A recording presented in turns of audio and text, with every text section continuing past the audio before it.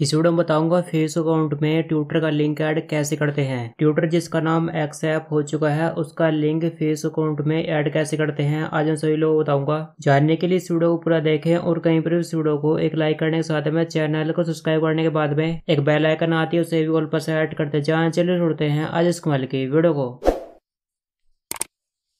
सबसे पहले Facebook app open करें।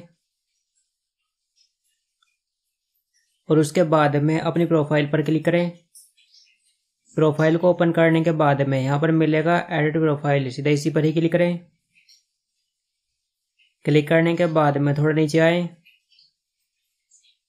नीचे मिलेगा लिंक उसके सामने मिलेगा एडिट सीधा इसी पर ही क्लिक करें।